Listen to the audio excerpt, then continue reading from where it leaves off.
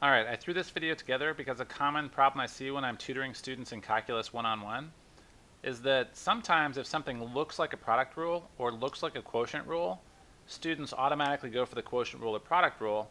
And the problem with that is that sometimes the product rule and the quotient rule get really, really, really nasty in terms of huge amounts of algebra, tons of canceling, tons of everything, right? If you're watching this video, you've probably already seen these two puppies and you know how nasty they can get. But a trick that teachers will pull is they will give you a problem that looks like it probably needs the quotient rule or the product rule, which in fact can be solved much easier by doing a little bit of algebra on it first. So here's one that looks like it might be the power rule. We got a 2, we got this. Now I just got done doing several videos where I told you the power rule is awesome. It's easy, it's wonderful. You know, why wouldn't you want to do the power rule? Well, the problem with the power rule is if you're going to do the power rule and whatever's in the parentheses under the power is not just an x, it's got like an x minus 1 in this case, now you have to do the chain rule also. And the chain rule is really the thing that makes the, uh, the other rules so much nastier to work with. So, what we'd love to do, and the trick on this one, is just to FOIL it out first, and then you'll just have a polynomial, because polynomials are the only thing that's easier to do than the power rule, right? So what I'm going to do is, I'll just leave the 4 out front, but then I'll have to FOIL it out. So I'll get x squared. And if you're not good at taking FOIL of squares, you can just write down x minus 1 times x minus 1 and just FOIL it out that way. The shortcut, whenever you have a binomial like this squared, is just square the first term.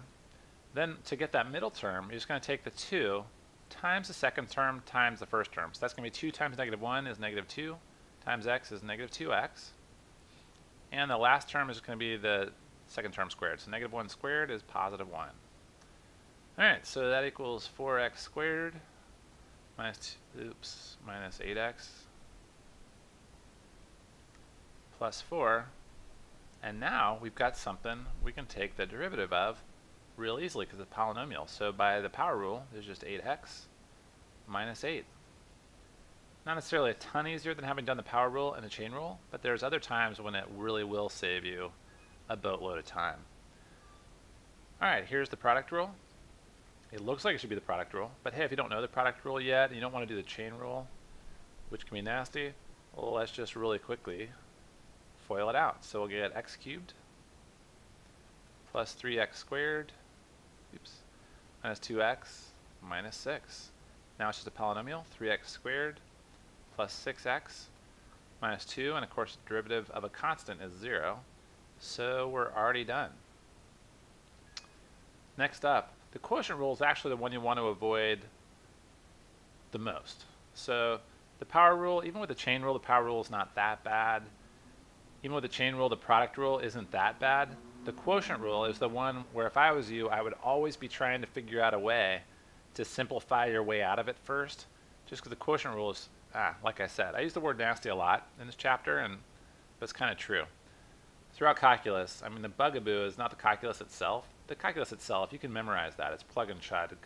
But the, uh, the algebra and the simplification and all the FOILing and the canceling and, oh my goodness, that's where calculus will knock you on your butt if you have a hard teacher or if you're planning on taking the AP test. Man, that's where it's gnarly. All right, so why don't we need the quotient rule in this puppy? Well, this is a special case. Because I have the power of x downstairs and it's just x, it's not like x plus 1 or x squared minus 6 or anything. Because it's just an x, I can basically split up this mess into four separate fractions. So what I'm going to do is turn this into an x cubed over x minus 2x squared over x plus 5x over x plus 1 over x. Now you might be asking me, hey Chris, why'd you do that? Because now you have four quotient rules. Well, now these are really easy to see they cancel, right? x cubed over x is just x squared. Negative 2x squared over x is just negative 2x. 5x over x is just positive 5. And 1 over x is obviously just 1 over x, which is x to the negative 1. Again, x to the negative 1, not the nicest thing I've ever seen, but at least it's not the quotient rule. And now I can use the product, the power rule on these real easy. Derivative of x squared is 2x. Derivative of negative 2x is negative 2 derivative of 5 is 0. And then derivative of x to negative 1 is just move the power out front. So you got negative 1 times x to negative 2. So making this look pretty, 2x minus 2 minus x to negative 2. Alright, are we fascinated? Pretty cool, right? Alright, that's a trick that'll really come in handy. The quotient rule is just so terrible. Um, don't need the quotient rule again. Yeah, so this is the exact same situation. I've got sort of a single term in the denominator, which makes it pretty likely that the breaking up into separate track, uh, fractions trick will work. So we get um, 2x squared over, now this is the key thing, square root of x is just x to the 1 half. So I'm going to write it like that to make it more obvious what I'm about to do here. And plus 1 over x to the 1 half. Alright, so we subtract exponents. So 2x squared over x to the 1 half is going to leave, you sort of take away a half from that exponent, you get 2x to 3 halves. And then 5x divided by x to 1 half is 5x to the 1 half, because just exponent of 1 minus the 1 half downstairs gives us a 1 half left over. And then that one's just x to the negative 1 half. Again, negative exponents, we can do the power rule.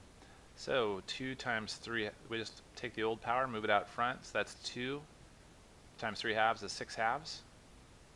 And I'll just write it out. 2 times 3 halves, x to the new power is 1 half, plus 5 times old power to the new power, just one less. And then plus old power down front, oops, negative 1 half, x, and then negative 1 half minus 1, negative 3 halves. Sweet. So now we just multiply through. Halves cancel, so we get 3x to the 1 half plus 5 halves x to the negative 1 half minus 1 half times x to the negative 3 halves. And you might be thinking, hey Chris, that seemed pretty painful. What did we really save ourselves? Well, try this with the quotient rule and get back to me. You will, you will think that this it looks like a, a walk in the park compared to what would happen with the quotient rule. And there's one last problem. I sort of goes in the same vein, you know, what can you cancel? Well, let's say we had x plus 2 times x plus 1 over x plus 1 and somebody asks you to find the derivative of that. Don't need the quotient rule, right? Because you could just do this. Well, by the same token, you should always try and factor first because the same problem, x squared plus 3x plus 2 over x plus 1, not so obvious that it would cancel, is it? But this problem right here, is the exact same thing as this. I just FOILed out the top first. So if you ran into this thing down here, you it sure looks like a quotient rule again, but you might be looking at the top saying, huh, that might factor to have an x plus 1 in it, and the x plus 1 would cancel the x plus 1, and it would be really simple. I would just have an x plus 2 to take the derivative of, which is 1. So again, we'll look to simplify first because the quotient rule, not your friend.